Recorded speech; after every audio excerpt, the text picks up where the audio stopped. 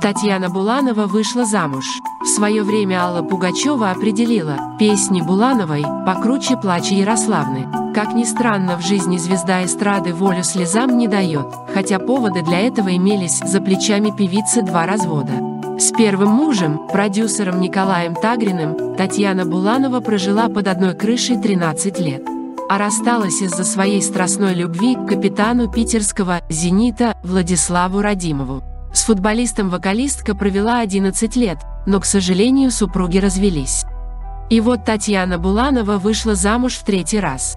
Ее избранником стал бизнесмен Валерий Руднев, который младше артистки на 19 лет.